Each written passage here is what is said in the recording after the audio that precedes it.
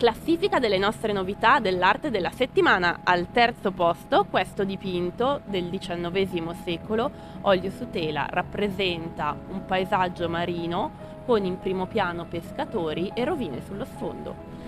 Al secondo posto questo acrilico e olio su tela di Concetto Pozzati della serie Album di famiglia, il pittore rappresenta sé con i figli assieme a un gallo. E al primo posto questa stampa multiplo di Mimmo Rotella, firmata dall'artista, ha anche il timbro a secco della fondazione. L'autore per realizzare quest'opera ha incollato una sopra l'altra due serigrafie. In questo caso ha scelto una locandina cinematografica con attori molto famosi come Marilyn Monroe.